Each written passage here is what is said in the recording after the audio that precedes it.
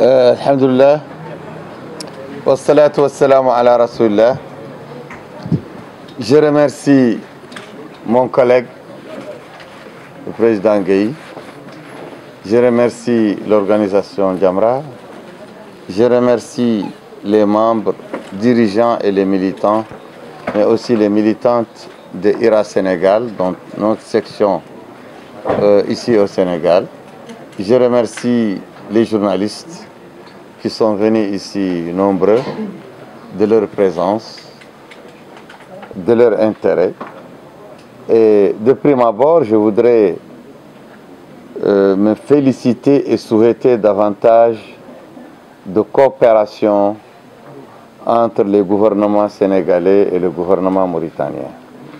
Quelle que soit ma position, euh, hostile à titre à l'illégitimité du gouvernement mauritanien, je suis dans l'optique de souhaiter et d'agir dans le sens que nos deux gouvernements travaillent dans le sens de la concorde, de l'intégration, de l'entente pour soulager les problèmes de nos deux peuples interdépendants.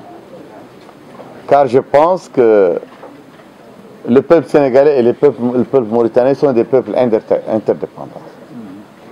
Donc euh, j'invite aussi tous les gouvernements sénégalais et mauritaniens à aller davantage dans la concorde, dans l'intégration, dans la collaboration. Et j'invite les oppositions de part et d'autre, l'opposition sénégalaise, l'opposition mauritanienne, à agir dans le sens de prendre compte de la sensibilité des relations entre les deux pays. Car il y, a des, il y a des antécédents, et des antécédents graves et dangereux qui ont porté préjudice à nos deux pays, à la quiétude des Sénégalais de, de Mauritanie et des Mauritaniens du Sénégal. Donc, euh, je voudrais que quel que soit le cas de figure, que toute la classe politique, opposition ou pouvoir dans les deux pays soient tous sensibles à cette situation. Car de cette situation, de cette position, bénéficie d'abord le peuple. Et le peuple, qu'il soit peuple sénégalais et mauritanien, sont la finalité de notre action à nous en politique. Notre action vise à les servir, à les soulager, à améliorer leurs conditions de vie, à leur créer des espaces d'activité au sein des deux pays. Deuxièmement, je voudrais confirmer la lutte dure que nous avons menée contre les anachronismes, contre l'esclavage domestique et d'État, contre le racisme domestique et d'État en Mauritanie, l'esclavage qui traverse toutes nos sociétés, toutes nos ethnies en Mauritanie, que ce soit les Soninké, que ce soit les Peuls, que ce soit les Maures, nos sociétés, que ce soit les Bambara, les Wolofs, nos sociétés sont des sociétés esclavagistes et continuent encore de l'être malheureusement à des degrés différents, à des degrés euh, qui ne sont pas les mêmes. Donc, euh, la lutte contre l'esclavage n'est pas circonscrite comme l'ont fait les élites panafricaines euh, des années 60, des années d'indépendance et les Afro-Américains des années 50, 60 et 70.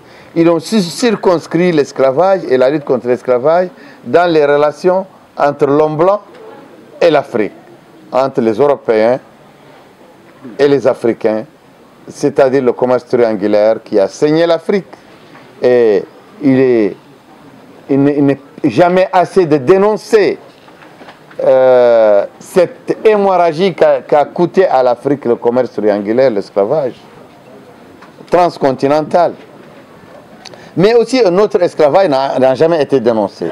C'est l'esclavage transsaharien, l'esclavage oriental, l'esclavage, un esclavage qui a aussi saigné les Africains sur les routes du Sahara, les routes d'Orient.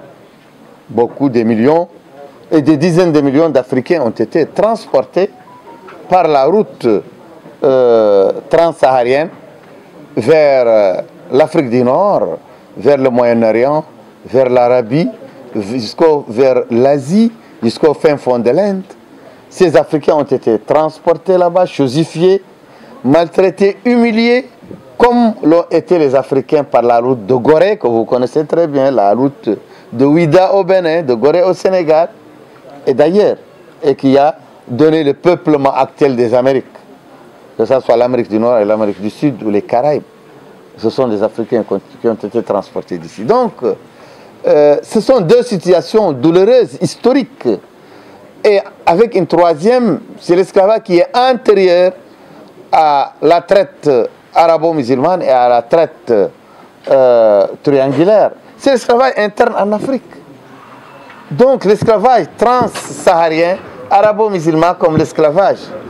Africain, inter-africain n'ont jamais été revisités, n'ont jamais été remis en cause, car par un souci d'un pragmatisme inouï, un pragmatisme malhonnête des pères de l'indépendance africaine, des pères de l'Union africaine, de l'OIA, de, l'Organisation de l'Unité africaine, des pères, voilà, d'élite afro, euh, ascendant, descendante en Amérique, par un souci vraiment euh, hypocrite euh, d'une solidarité tiers-mondiste contre l'homme blanc, contre l'Occident.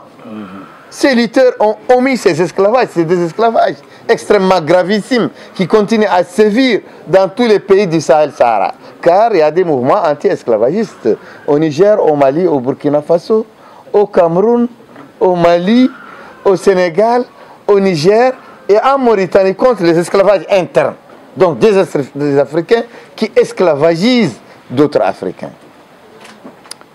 Là, c'est un combat qui nous est cher, mais le propos qui nous amène ici aujourd'hui, c'est le propos des luttes des Africains pour leur démocratisation, pour que les Africains s'approprient leur destin, leur gouvernance, pour que les Africains s'approprient les richesses de leur pays, pour que les Africains puissent avoir la même mise, la surveillance, le contrôle sur la gestion des, économies africaines, des richesses africaines et des deniers publics africains. Donc, il faut que les Africains tournent la page des gouvernances arbitraires, des gouvernances minoritaires, des gouvernances vraiment de délinquants économiques et politiques et de fauteurs de droits de l'homme. C'est pourquoi nous sommes dans une dynamique en Mauritanie où toutes les ethnies, les jeunesses de toutes les ethnies, qu'il soit que cette jeunesse soit arabo-berbère, que cette jeunesse soit Wolof, soit Soninke, soit Bambara, que cette jeunesse soit Haratin, et le peuple aussi avec la jeunesse, sont unis pour sortir de la compartimentalisation ethnique. Un pouvoir qui se légitime par l'invocation du danger pour une communauté face à d'autres communautés qui sont considérées comme des périls. Ceci a fracturé vraiment les classes politiques au Cameroun, les classes politiques entre anglophones et francophones, les classes politiques en Côte d'Ivoire entre musulmans et non musulmans, les classes politiques au Mali entre Touareg et autres euh, Maliens du Sud ou Malinké, euh, ces fractures qui se multiplient en Afrique et qui font le lot des dictateurs, le lot des élites, de malfaiteurs, des délinquants en col blanc, des délinquants économiques, des délinquants qui, érodent les droits politiques, les droits de l'homme, les droits économiques des Africains. Ce qui a fait que ce sont toujours que nous sommes enlisés dans des républiques bananières dans lesquelles l'ethnie elle-même est un programme politique. Et un programme politique qui ne peut pas marcher, qui ne peut pas avancer et qui ne garantit pas l'égalité entre les citoyens, qui ne garantit pas une gestion saine des deniers publics, qui ne garantit pas, l'alternance entre la classe politique, qui ne garantit pas l'égalité entre les régions et qui ne garantit pas, surtout qui ne garantit pas le développement euh, économique et qui implique un pillage sectaire des richesses du pays. Ce qui a affaissé nos républiques, qui a affaissé nos économies, qui a plombé le développement de nos pays. Et c'est aussi ce système de gouvernance ethnique, ce système de gouvernance euh, euh, de, gabégiste et de, pillage systématique des économies des peuples africains a été euh, depuis toujours la, la, gouvernance en vogue ici en Afrique. Nous sommes contents pour que le Sénégal sorte de ce lot parce que le Sénégal et les Sénégalais sont un peuple qui a imposé l'alternance par sa maturité, par l'institution d'institutions, l'imposition d'institutions euh, chargées de superviser et de contrôler et de mettre en, action la démocratie africaine, ce qui a garanti l'alternance régulière pour les Sénégalais.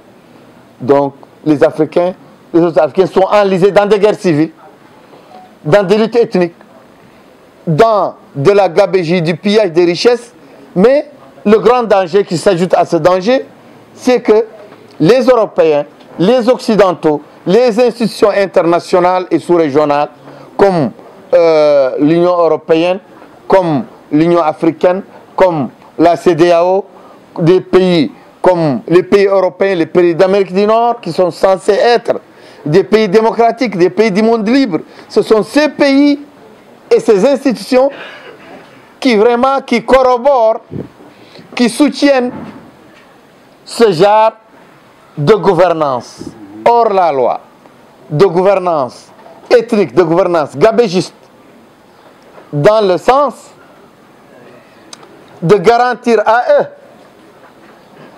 euh, les intérêts économiques, politiques et sécuritaires au détriment du choix du, peuple, de l'intérêt des peuples africains. C'est pourquoi la présence de l'Occident dans notre sous-région du Sahel-Sahara bat L'Occident a été mis en dehors, a été euh, chassé en dehors du Niger, en dehors du Mali, en dehors du Burkina Faso, et il est à la porte de la Guinée pour sortir, à la porte du Tchad et d'autres pays encore, parce que l'Occident a choisi le court terme au lieu de choisir les principes démocratiques et le développement de la démocratie, le soutien à la démocratie, le soutien aux peuples qui se battent pour euh, leur bien-être, pour leurs droits, qui se battent pour développer leur peuple.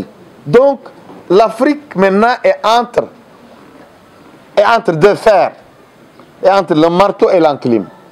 Il est entre le marteau des dictateurs voyous, délinquants économiques avec leurs bandes de pillards, de voleurs et d'élites euh, sans aucune intégrité, sans aucune moralité, sans aucune dignité, d'une élite d'hypocrites, de menteurs, de voleurs et de pilleurs, elle est entre l'enclime de, l'émigration vers l'Occident, l'émigration vers l'Europe et vers les États-Unis. Ceci, ces, ces deux paramètres sont les paramètres qui sont en train vraiment d'endayer l'Afrique. L'émigration, nos jeunes la crème de la jeunesse africaine est en train de mourir dans la mer, en train de périr. Combien de foyers sénégalais, combien de villes, de villages sénégalais ont perdu des enfants dans la mer? Combien de foyers mauritaniens, de foyers guinéens, de foyers gambiens? Et la liste est longue. De nos pays ont perdu leurs enfants, engloutis par la mer, à la recherche d'un espoir car l'espoir est bouché par la mauvaise gouvernance. L'espoir est bouché par le, pillage des richesses, le pillage de notre élite corrompue avec les multinationales occidentales qui pillent nos richesses et qui imposent leur forme de démocratie viciée, de fausse démocratie et d'élections fausses. Et c'est l'alliance entre les pouvoirs faussement élus, comme le pouvoir mauritanien, entre les présidents faussement élus, comme le président mauritanien, et les Occidentaux, et les institutions, les institutions impuissantes, les institutions mortes, les institutions qui sont devenues un fardeau, les institutions qui sont devenues des institutions de faux témoignages contre les Africains, que ce soit l'Union africaine, que ce soit la CDAO, que ce soit les Nations Unies parfois et souvent, que ce soit, voilà, cette alliance, cette axe entre les multinationales occidentales, l'Occident qui donne des certificats de bonne conduite aux présidents qui volent leur peuple, qui pillent leur peuple, qui oppriment leur peuple, qui tuent leur peuple et qui, qui, qui, qui, qui fraudent les élections et qui empêchent le peuple de s'exprimer et qui des présidents qui et des pouvoirs qui confisquent la volonté populaire. C'est contre ce fardeau, contre ses ennemis, contre ce colonialisme nouveau, cet impérialisme nouveau, interne, dangereux, nuisible, écrasant, contre lequel les peuples d'Afrique et les peuples du Sahel-Sahara doivent se révolter, doivent se soulever. C'est ça notre combat. Notre combat n'est pas un combat d'un peuple contre un peuple, un combat d'une ethnie contre une ethnie, mais notre combat contre une seule race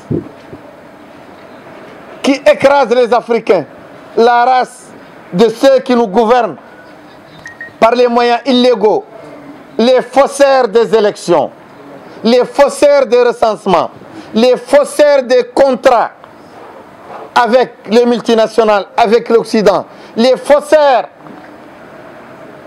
de, des tableaux économiques des Africains pour voler les Africains, pour les appauvrir. Notre combat est contre cette race qui est partout dans la majeure partie des gouvernements africains. Sauf ceux qui acceptent, qui ont mis les mécanismes et qui ont garanti les mécanismes pour que le peuple s'exprime régulièrement pour choisir ses représentants. Comme ce qui se fait au Sénégal, ce qui se fait au Nigeria, ce qui se fait au Ghana. Mais les peuples des autres pays africains sous la coupe de l'arbitraire doivent lutter, doivent chercher les moyens de se libérer, doivent mettre out, en dehors des cercles dirigeants, ces pilleurs, ces, tricheurs. C'est pourquoi, comme l'a dit mon collègue Martar, oui, pourquoi l'Occident? Pourquoi l'Union européenne? Pourquoi les Nations Unies? Pourquoi l'Union africaine? Pourquoi l'Organisation internationale de la francophonie? Pourquoi l'Organisation internationale de la conférence islamique Pourquoi la Ligue arabe Pourquoi la CDAO accepte et témoigne un témoignage faux que le gouvernement, que le président actuel de la Mauritanie est élu démocratiquement? Alors que ce président et son pouvoir ont pris le soin d'interdire tous les partis qui s'opposent à eux de manière efficace. Ils ont interdit tous les partis qui sont capables de les battre. Les partis qui sont capables de leur faire ombrage dans des élections régulières. Les partis qui sont issus des mouvements qui sont sortis du peuple, de l'intérieur du peuple, de la volonté du peuple, qui sont sortis de la douleur que vivent les peuples, que vivent le peuple mauritanien. Ces mouvements représentatifs de l'espoir des populations mauritanienne, comme le parti RAC par exemple, et 12 autres partis qui constituent la coalition Biran président 2024. Tous ces partis ont été interdits par le pouvoir mauritanien. Donc le parti aligne avec lui dans des, dans des élections. Chaque élection législative, municipale ou régionale, des partis qui lui sont acquis à l'avance. Des partis qui représentent des seconds couteaux pour le pouvoir, pour le parti au pouvoir. Et nous, nous sommes interdits. Donc nous sommes obligés de rester en dehors du jeu démocratique. Est-ce que si Macron avait interdit les partis qui s'opposent à lui en France et avait choisi des partillons qu'il légalise, qu'il légitime et avec qui il fait une compétition comme la bataille entre David et Goliath, desquels il fait une seule bouchée au premier tour. Est-ce que ça, c'est la démocratie? Est-ce que si le Parti démocrate américain interdit le Parti républicain et fait une élection unilatérale, est-ce que ça s'appelle la démocratie? Est-ce que si en Angleterre le Parti travailliste avait interdit le Parti des conservateurs et organisé des élections unilatérales dans lesquelles il est l'omnipotent parti, est-ce que ça s'appelle de la démocratie? Est-ce que c'est ce que fait le gouvernement mauritanien C'est ce que fait le régime mauritanien. Et c'est ce que les Occidentaux appellent démocratie. Et c'est pourquoi, et c'est pour cela, pour ce haut fait d'armes dictatorial, que les présidents des pays occidentaux et de certains pays africains ont félicité. Le président Kazouani, félicité pourquoi? Tu as interdit les partis. Tu as interdit le recensement aux populations qui s'opposent à toi, qui voteraient à toi. Est-ce que si les populations qui voteraient pour Sonko et Diomaye, les élections passées, si toutes ces populations avaient été interdites de vote, de s'inscrire dans les listes, si le parti APR avait inscrit seulement les populations qui lui sont favorables et a fait les élections qu'il a gagnées, est-ce que ça s'appelle la démocratie? Non, non. Mais c'est ce qui se passe en Mauritanie. Le parti au pouvoir, il interdit le recensement sur le registre électoral à nos populations opposantes et permet à sa seule population, ses seuls partisans, de voter. Il interdit les bureaux de vote. Là où nous, nous sommes, où nous, nous allons gagner, où nous, nous sommes donnés favoris. Par exemple, au Sénégal, où il y a plus de 300 000 Mauritaniens. Pourquoi les Mauritaniens du Sénégal sont interdits de bureaux de vote? Parce que tous les pronostics disent qu'ils vont voter pour l'opposition. Et le pouvoir les saute, il part en Arabie Saoudite, là où il y a ses partisans pour implanter des bureaux de vote vides, où il n'y a que des fantômes, ou quelques rares personnes affiliées au gouvernement. Pourquoi les partis, les concurrents, opposants sont interdits de bénéficier du financement de leur campagne pourquoi le parti au pouvoir en Mauritanie, le président actuel, le chef de l'État, qui a usurpé le pouvoir dans les élections du 29 juin passé, lorsque je l'ai battu dans toutes les villes, là où il y a la vie, je l'ai bâti. Là où vivent les Mauritaniens, je l'ai bâti à plate couture. C'est pourquoi il a émigré, il a transféré le combat dans le désert où il n'y a pas de vie, où il n'y a pas de citoyens, où il n'y a pas les constitutifs d'un bureau de vote, un bureau de vote doit exister là où il y a un bâtiment public. Il a émigré en freignant la loi pour aller dans des déserts où il n'y a pas de bâtiment public, il n'y a pas d'école, il n'y a pas de dispensaire, il n'y a pas de vie. Et il a implanté des bureaux dans le désert. Et comment ces bureaux, on les a fait voter contre nous? Ce sont des listes électorales où il y a des dizaines de milliers de Mauritaniens qui ont été inscrits arbitrairement sur les listes, sans leur consentement souvent. Et ces listes ont été envoyées dans ces bureaux de désert et un centre de vote dans le désert où il y a 10 000 votants, 5 000 votants, 4 000 votants, 3 000 votants ou 1 000 votants. Pour 1 000 votants, il y a 5 personnes qui partent, ils vont voter pour les 1000. Et ils ont une seule consigne, voter dans la case du chef de l'État. Et ça, c'est fait partout.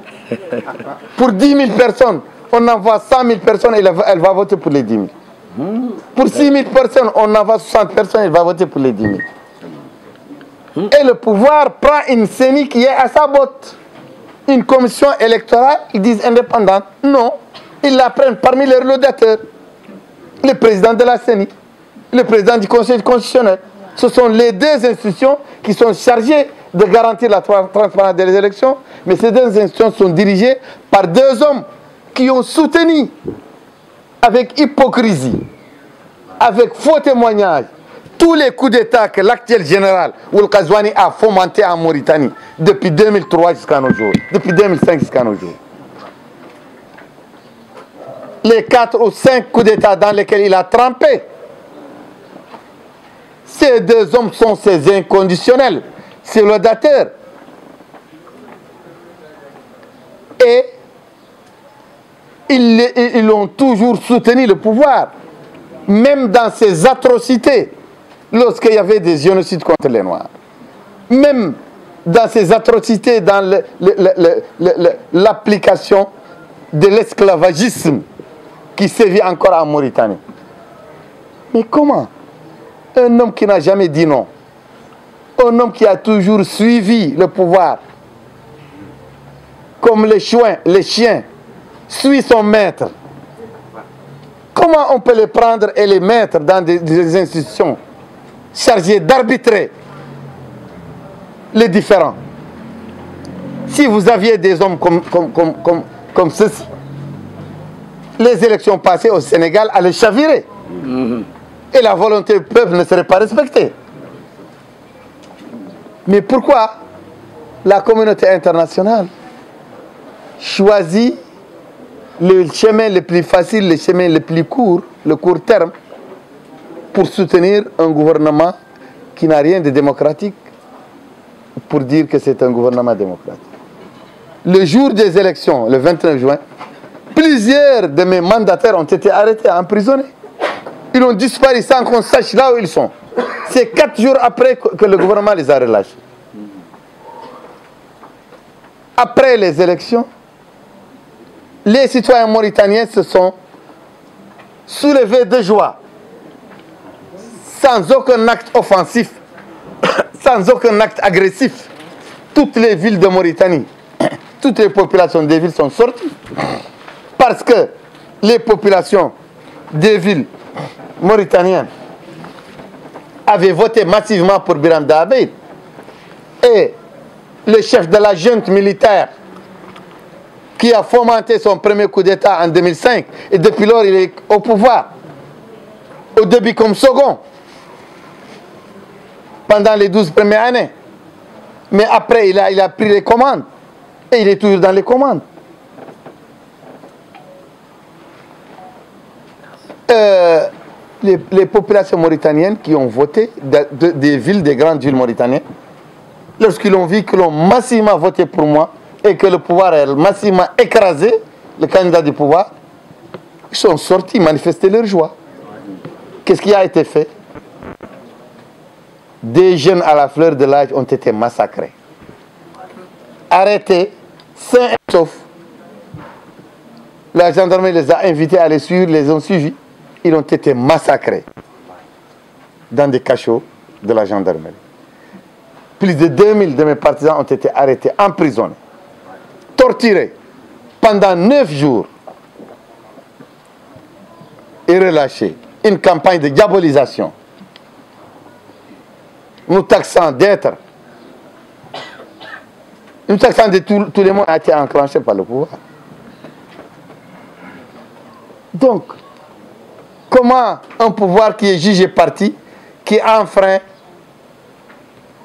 les principes élémentaires de la démocratie, du vote transparent et équitable, comment ce gouvernement est soutenu par l'Occident, par l'Union africaine, par l'Union européenne.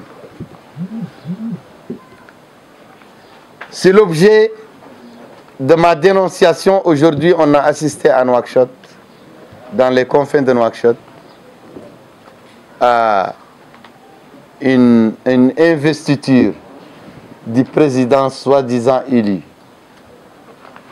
Mohamed Cheikh Kazouani,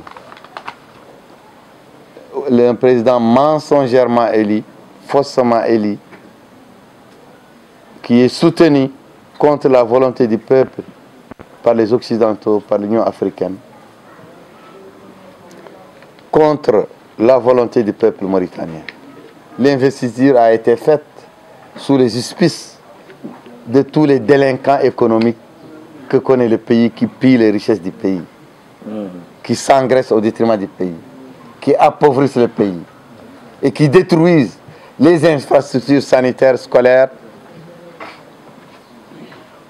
les infrastructures hydrauliques, les infrastructures de transport d'un pays qui est délabré, qui est appauvri, un pays qui n'a plus aucun service qui marche, un pays qui regorge de richesses minières, que ce soit l'or, que ce soit le fer, que ce soit le cuivre, que ce soit le phosphate, que ce soit le gaz. Voilà, c'est pourquoi je considère que ceci est une menace pour la paix dans la sous-région et la paix en Afrique. Je pense que le court, court terme, le plus court, le plus facile, choisi par l'Occident, choisi par l'Union africaine, choisi par la CDAO, choisi par l'organisation de la francophonie, ce chemin, ça risque encore d'enliser l'Afrique dans le désordre et dans les guerres. Ce qui a amené le désordre au Mali, ce qui a amené que les peuples africains ont rejeté la démocratie, qui est devenue un enfer pour eux parce que c'est une fausse démocratie. Parce que c'est la démocratie des pilleurs, des voleurs, des dictateurs, des malfaiteurs.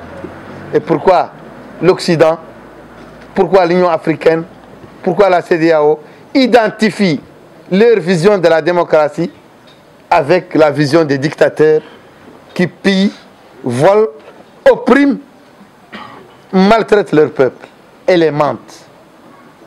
Voilà, c'est là où se trouve tout le problème. C'est là où se trouve tout le problème. Et c'est là l'objet de mon combat avec une jeunesse africaine désemparée, qui s'adonne maintenant à la mort, au suicide, dans la mer Méditerranée, dans, sur toutes les côtes de l'Occident, dans des embarcations de fortune, des embarcations qui sont des brancards de quelqu'un qui va vers le cimetière, qui va vers la tombe. Mais il est temps qu'on secoue la jeunesse africaine.